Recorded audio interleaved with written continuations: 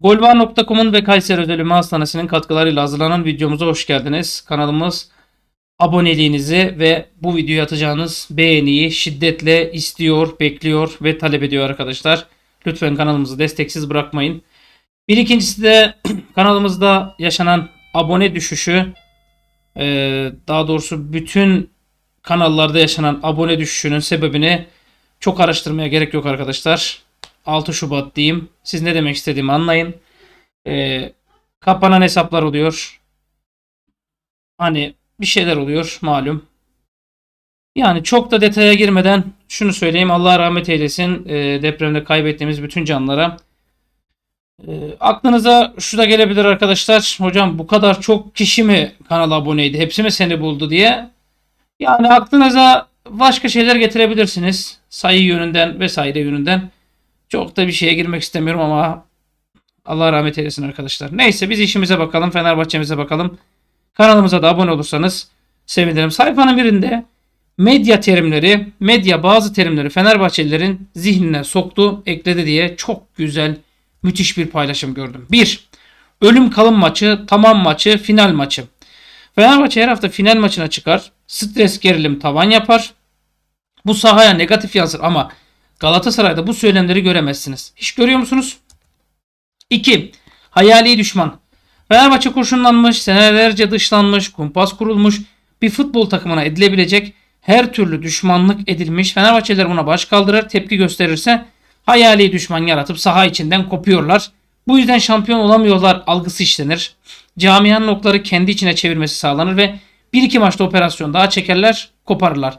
Galatasaray ise bir taç atışını yanlış kararla Galatasaray aleyhine veren hakem bir daha maç alamaz, cezalandırılır, ayıplanır. Hem MHK hem TFF'ye her koldan saldırırlar, baskı yapar, yapılır. Medya vatan haini algısını işler, görevinden indirilir. Hata oraya yapılırsa hayali düşman olmaz. 3. Fenerbahçe kırılgan bir takım, kırılgan bir camia lafı. Fenerbahçe Türkiye liglerinin en fazla ikinci olan takımı. Galatasaray ise şampiyonluğu şampiyon olmadığı birçok sezonda yarıştan erken kopmuş, kırılmış, orta sıralarda gezmiştir. Fenerbahçe camiası asla hiçbir zaman yarıştan kopmaz, inatçıdır. Başarıya alışmıştır, başarıyı ister, pes etmez, kendine de güvenir. Bu yüzden asla ligden kopmaz. Ya birincidir ya ikinci. Ancak medyanın empoze ederek zaman içerisinde yerleştirdiği bir algıda bu kırılganlık. Hayır biz tarihimiz boyunca asla kırılmadık. 3 Temmuz'u yaşadık. Sonraki sene yarım puanla kaybettik. Biz asla pes etmedik, kopmadık. Asıl kırılgan takım Galatasaray'dır ya destek alır tepeye oynarlar ya da erkenden camia olarak kırılır ligden kopar ve orta sıralarda ligi bitirirler. Medya kirli, medyanın empoze ettiği saçmalıklardan uzaklaşalım. Bizi engel olarak işledikleri kalıpları kıralım. Sen Fenerbahçe taraftarısın. Seni kimse kıramaz. Kimse korkutamaz. Kimse seni yenemez. Tarih boyunca yenemedi, yenemeyecek de diyor sayfa sahibi. Yani alnından öpüyorum bu sayfa sahibine. Ee, gerçekten teşekkürlerimi sunuyorum. Şimdi bakın arkadaşlar. bu takım cidden nelerle uğraşıyor. Ya Selahattin Maki ifadeye çağrılmış. Ciddi ciddi Selahattin Maki ifadeye çağrılmış. Ben bunu duyunca çok şaşırdım. Selahattin Maki Galatasaray kulübünün şikayeti üzerine savcılığa ifade vermiş. Fenerbahçe Kasımpaşa maçının ardından açıklamalarda bulunmuştu. Utanmazlar Galatasaray'ı tebrik ediyorum. Kendilerini ve tarihlerini bir kelimeyle izah etmişler. Biz bile bu kadar güzel izah edemezdik tek kelimeyle diye. Rakibimizin başkanı bizim başkanımız Ali Koç'un vefat etmiş aile ferdi üzerinden bile siyaset yapacak kadar alçalmıştır demişti. Şimdi bu laflara eğer savcı çağırıyorsa, ifade alınıyorsa demek ki abi yani e, biz sadece sporda bunların arkasında birileri var zannediyorduk. Eğer bu, bu olay sadece bu cümlelerden ibaretse belki de haber aktaran yanlış aktarmıştır. Garip. Bu arada Selahattin Maki'nin bu sene şampiyon olmamız çok önemli gibi sözcükleri var arkadaşlar. UNIFEB'in düzenlediği 1907 UNIFEB'in düzenlediği e, şeyde açıklamalarda bulunmuş. Hep aynı şeyleri söylüyoruz ama her deplasmanda hem Kadıköy'de bundan sonra verilecek destek muazzam. Bir şey bağlamak istiyorum birbirimize. Biz gerçekten bambaşka bir camiayız. Bu sene şampiyon olmamız çok önemli. Son 10-11 haftaya girdiğimiz zaman arada Avrupa maçlarımız var. Süper Kupa maçı var. Sezonun kalanında ciddi anlamda düşüşler, kalkışlar olabilir. Bunu Pendik Spor maçı üzerinde söylemiyorum. Sadece yanımızda olmaya devam etsinler diyor. Dış faktörlerle ne kadar uğraştığımızı bence iyi görmeye başladılar. Bizim kuruluş zamanlarında Zafer'in Rengi filmini izlesinler. O zamandan beri kulağımıza nasıl bir ruh üflenmiş. Fenerbahçe Atatürk'üyle Türkçülüğüyle nasıl yoğrulmuş görsünler diyor. Ya nasıl özel bir camiayız filmi izleyenler anlasın diyor arkadaşlar. Yani şunu unutmasınlar öyle bir camiayız ki doğuştan Türk'üm Allah'ın lütfuyla Fenerbahçeliyim ne olur bunu unutmasın hiçbir Fenerbahçe taraftarı çok teşekkür ederim diyor. Gecede ödül alan isimlerden Ferdi Kadıoğlu, Cengiz Ünder'in performansına ilgili soruyu yanıtlamış. Ee, diyor ki benim için en sevdiğim çocuğu seçmek gibi bir şey ya da kardeşini seçmek gibi hepsinin katkıları oldu. Cengiz biliyorsunuz Kadifaya ile bize çok kritik maçları çözdü. Ferdi zaten maşallah lokomotif gibi nereye kursan oynuyor. Bizim bu sene transfer ettiğimiz futbolcular çok büyük katkılar verdi. Bence doğru isimler burada. Ama ben seçemem. Öyle söyleyeyim. Bugün kim geldiyse benim için tamam. Yani problem yoktu diyor. Şunu belirteyim. Eğer Fenerbahçe'nin transferlerinin yarısı çöp çıksaydı Fenerbahçe şu anda 6.ydı. Galatasaray transferlerinin %90'ı çöp çıktı. Zirvede tutuluyor. Zaha çöp çıktı. Tete çöp çıktı. Endombil'in malum. Öbürüne bakan boyu aldılar geri yolladılar. Icardi tırt. Kaan Ayhan Nanay. Haksız mıyım? Öbür Örü'ye aldılar. Adam sakat bilmem ne. Kaleci Günay aldılar. E, Karagümrük maçında iki tane yedi. Yemediği küfür kalmadı. Sol bek Angelina'yı aldılar. Angelina Jolie'yi gönderdiler.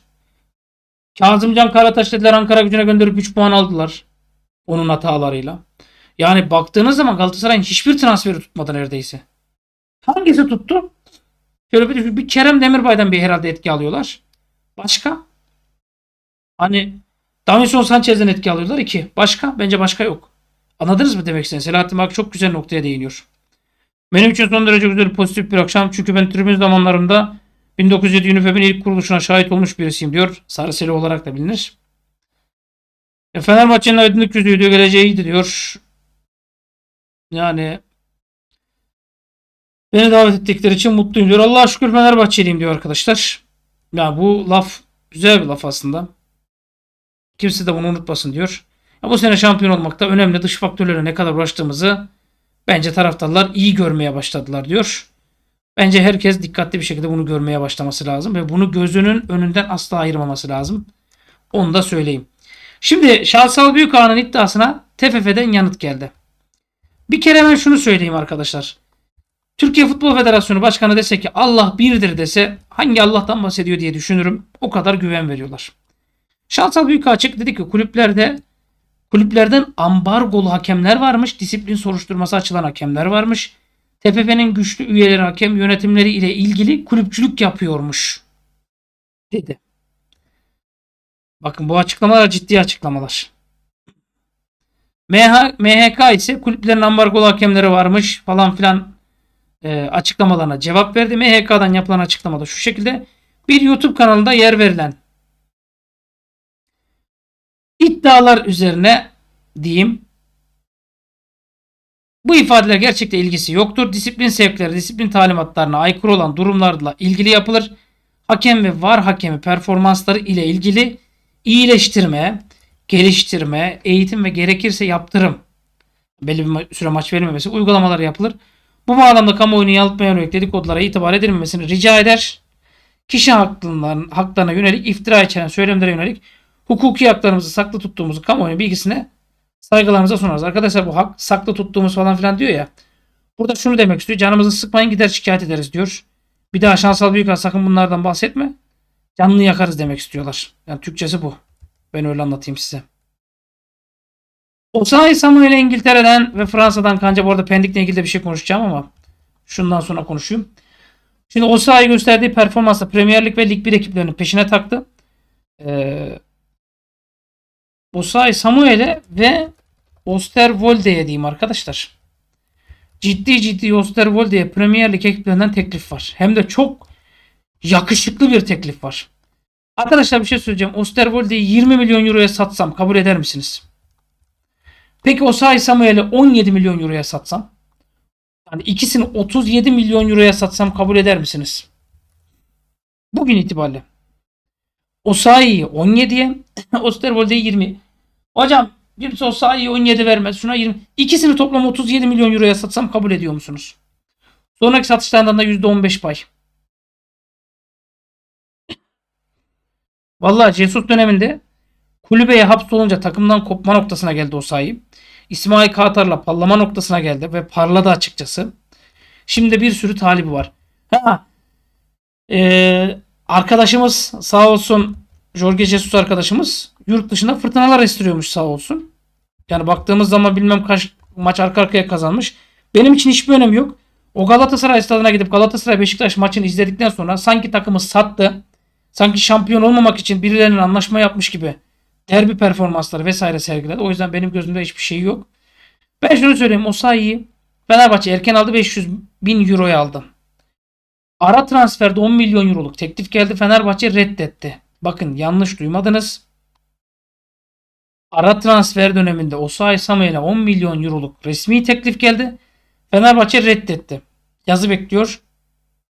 26 maç 3 gol 4 asist attığı gollerde malum.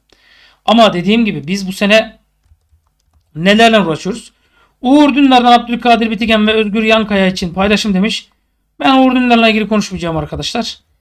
Bir Fenerbahçeli beni engelliyorsa o kişi Fenerbahçeli değildir. O yüzden bu arkadaşla ilgili konuşmayacağım. Ee,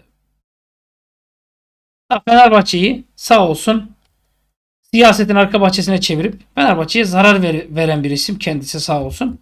Ama sosyal medyada beni engellediğinden sonra ben notumu verdim açıkçası. Napoli yeni Zielinski için gözlemcileri Türkiye'ye göndermiş. Fenerbahçe'de oynayan Şimanski'yi beğenmiştir. Arkadaşlar ben size bir şey söyleyeceğim. Osayi, Osterwolde ve Şimanski. Toplam bu üçünü kaça satsak kabul edersiniz? Az önce bence 37'yi kabul ettiniz. Peki Şimanski için 25 milyon euro desem yani e, 37 ora 25 burası 57 62 milyon euro. 3'ü 62 milyon euroya gitse kabul eder misiniz? Bence Şimanski'yi son dönemde Fred'siz Şimanski'nin performansı düştü ama orta sahaya yardım ettiği için ben bir şey söyleyeyim size.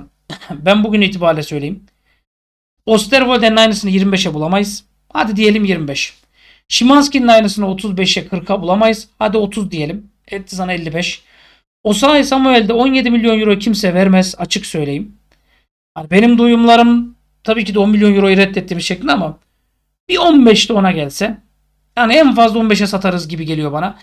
Ya hocam ya Osayi çok iyi sen bilmiyorsun değerini falan filan. Ya geçiniz.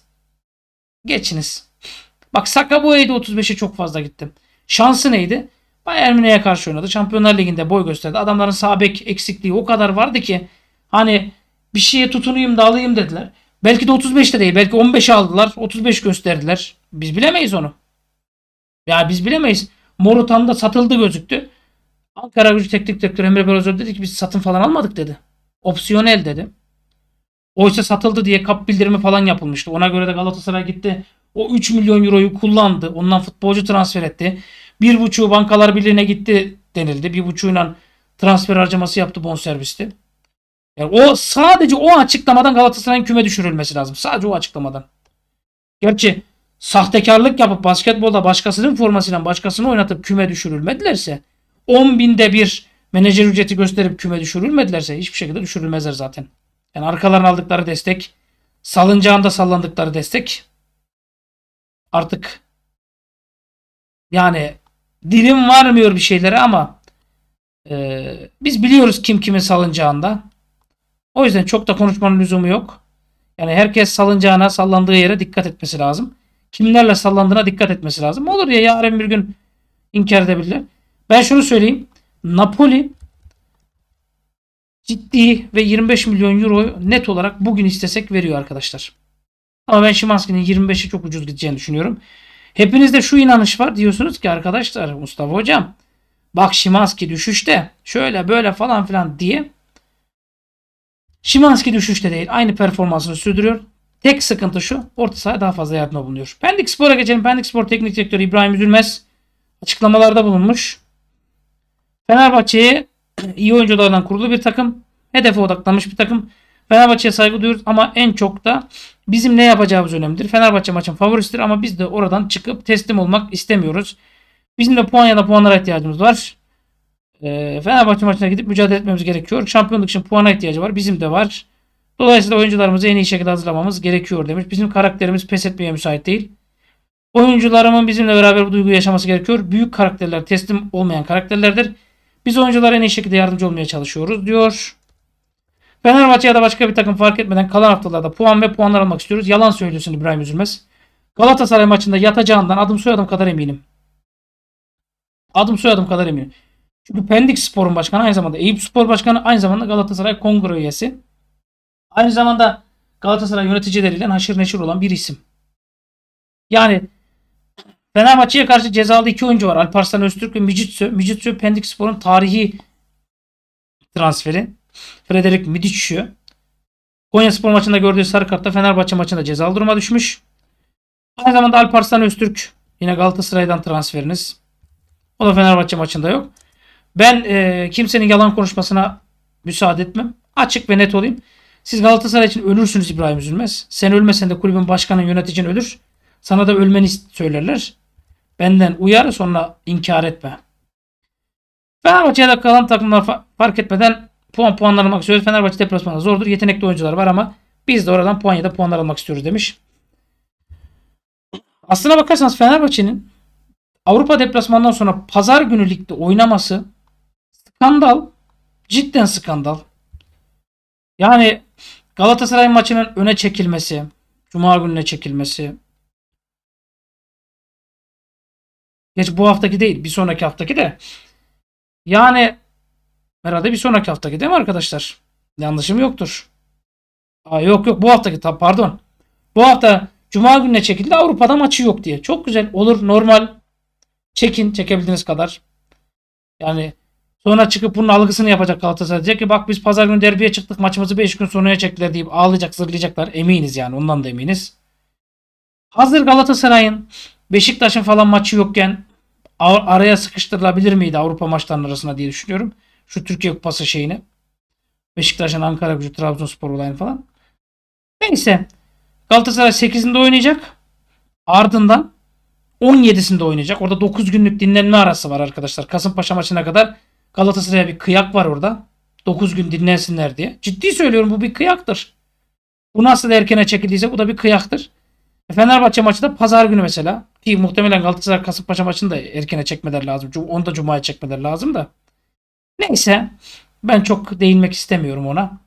Ya Fenerbahçe'nin maçı bu hafta arkadaşlar. Pazar günü. 10 Mart pazar günü.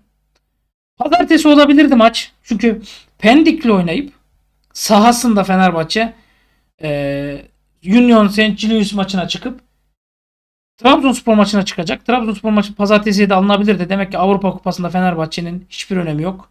Bizim için Türkiye Futbol Federasyonu'nun hiçbir önemi yok. Onu da diyeyim.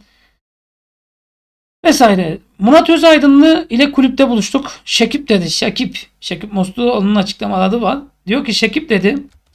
Roberto Carlos alıyoruz. Ben dalga geçiyor zannettim. Abi bu saatte yapılacak şaka değil bu dedim. Sen sözleşmeyi hazırla fax çekeceğiz dedim. Ben sözleşmeyi hazırlarken hala Carlos olduğuna inanmıyordum diyor. Yani Şekip Mosturoğlu'nun. Mehmet Topuz Beşiktaş formasını giydi. Bu arada Mehmet Topuz'u ben kişisel olarak da tanırım arkadaşlar bilginiz olsun. Ee, Beşiktaş formasını giydi. Gerekirse sözleşme bitene kadar Kayseri'de kalır. Sonra Beşiktaş'a giderim. Bile dedi. İki camia birbirine girmiş. Türk futbolu karışmış. Aziz Başkan Mehmet Topuz ile odaya girdi. Tam bir dakika sonra çıktı. Şekip Bey sözleşme yazılı dedi. Genç bir yöneticiydim çok şaşırdım diyor. Genç bir yöneticiydim çok şaşırdım diyor. Hala ne yaptı bilmiyoruz demiş. Senin ananı senin ananı Oğlum bak Mehmet senin senin o soyadın var ya. Onu onu sana çevirdim seni ben ortalıkta gezdirdim falan. Yok ya Aziz Başkan asla tehdit etme. Muhammed Salah Muhammed Salah'la anlaşmıştık. Her şey tamamdı. Son anda başka bir takımı tercih etti. Lan çeşit oldum ya. Nasıl yani son anda başka bir takımı tercih ettim? Şimdi Muhammed Salah'a bakıyorum abi. Bazel'den Chelsea'ye 16,5 milyon euroya gidiyor. 2014 yılında. Şimdi Şekip Mosturoğlu'nun ve ekibinin 2018 yılında bitirdiğini düşünürsek yani yeni başkan seçimini Roma kariyeri var. 2016'da Roma'ya gidiyor 15 milyon euroya. Chelsea'den Roma'ya 2015'te kiralanıyor zaten 5 milyon euro kiralık. 15'e de satıyorlar 20'ye. Hani Bazel'den Chelsea'ye gelirken hani 2014 yılı acaba o sezon mu diye düşünüyorum. O da sıkıntı. Bu arada Muhammed Salah bu sezon 28 maç, 19 gol, 10 asist, 2092 dakika. Adam uçuyor. Uçuruyor. Ee, ama Fenerbahçe'den Muhammed Salah itirafı diyeyim. Ee, buna da. Ya bu tip şeyler olabilir. Biz şunu alacaktık da bunu alacaktık da o gelecekti de bu gelecekti de gelmedi falan filan. Bunlar olabilir ama ben şunu söyleyeyim. E, transferde kurban olayım hangi başkan gelecekse gelsin. Aman e, Mario Branco'yu kaçırmayalım. Ben sadece bu kadar söylüyorum. Herkes ne mesaj vermek istediğimi anlasın. Teşekkürlerimi sunuyorum. Videomuzu lütfen beğenelim. Yorum yapalım arkadaşlar. Ve e, yapılan yorumları dan ziyade biraz da videomuzu sağda solda paylaşırsak sevinirim. Görüşmek üzere arkadaşlar.